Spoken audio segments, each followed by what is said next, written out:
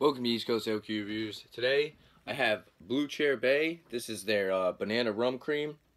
And um, I actually already did the uh, Blue Chair Bay key lime rum cream. That one was actually really good. Um, so I'm pretty excited to try this one. Um, it says Caribbean rum with real cream and caramelized banana flavors. 15% um, alcohol by volume or 30 proof. Um, I got bluechairbayrum.com uh, rum.com pulled up. Um, if you want to check them out a little bit more, you can go to their website. Um, so this is banana rum cream. It says smooth as summer.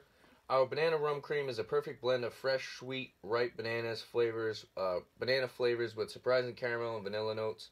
Its warm and distinctive flavor invites you to kick back and relax. Endlessly mixable, this rum cream is the perfect perfect base for no pressure cocktails from frozen. Uh, fr wow, I can't speak. From frozen tiki drinks to sophisticated daiquiris. Its gentle, uh, gentle sweetness makes it a treat on the rocks too. Um, so I got this uh, little nip for a dollar.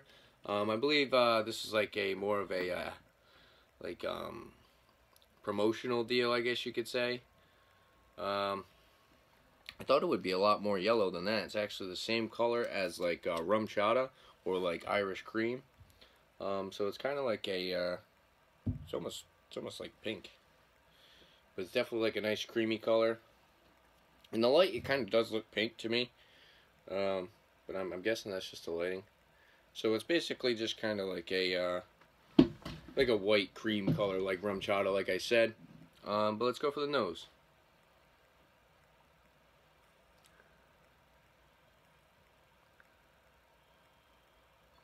So I'm not really getting much of a spice. Um, so there's not really any spice or like an alcohol smell. Getting lots of uh, banana, ripe banana like it says. Just a little bit of caramel. And just like a little bit of like a uh, vanilla background as well. Um, but it actually has a really good nose on it. Let's go for the taste.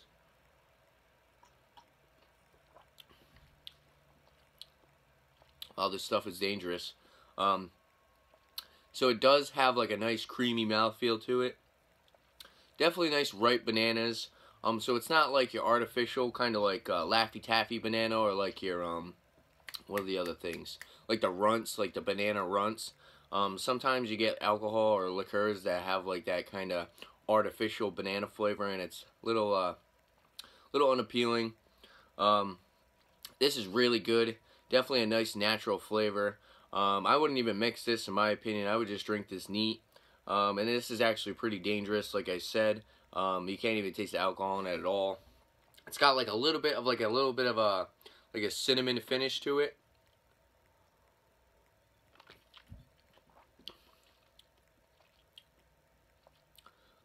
So it basically has like the same consistency as like RumChata. Um, RumChata might be a little bit thicker than this. Um, but it's really good.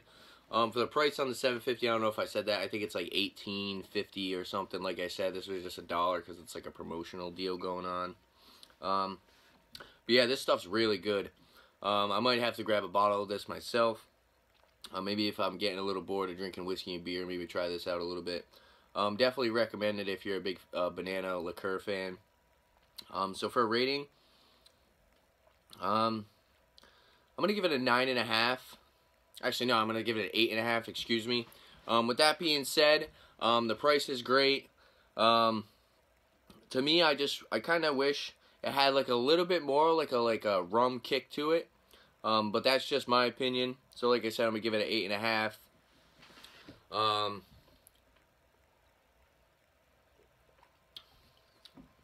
yeah, this stuff's really good. So uh, there's not really much else to say, but uh, yeah, there you have it. It's in your liquor beers or rum creams or any kind of rums you guys like to see on my channel.